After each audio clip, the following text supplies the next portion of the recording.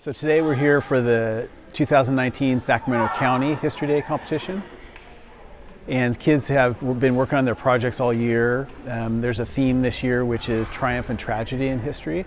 And so the kids have created projects and today they're, they're showcasing their projects. Civics education is a really important thing for kids to sort of understand where we come from and where we've, and where we've been and where we're going.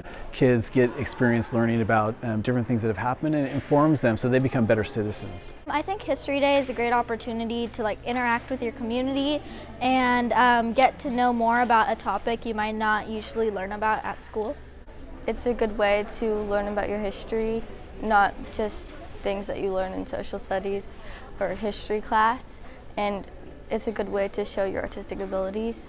Um, it teaches them good public speaking skills because they have to go in front of judges and, and talk about their project. And it also teaches them good study habits. Um, they learn how to, on their own, go and research their topic, go find information about it, and then present it and, and showcase what they know. From history, we learn a lot of valuable lessons. We learn how society is today from people throughout history. They've worked hard for what we have today. We're living the luxuries that people worked for, and we don't know that. So it's very vital that we know how we came to this state in life and all the events before, why they're significant.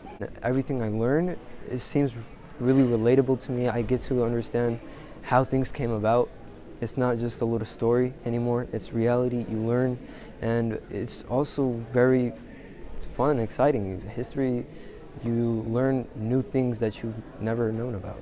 The more that they know about a topic and about history, the more involved that they usually get in their area, in their school, and everything else. So it's, it's really eye-opening, I think, for them as well as for me. I'm excited to see what they learn.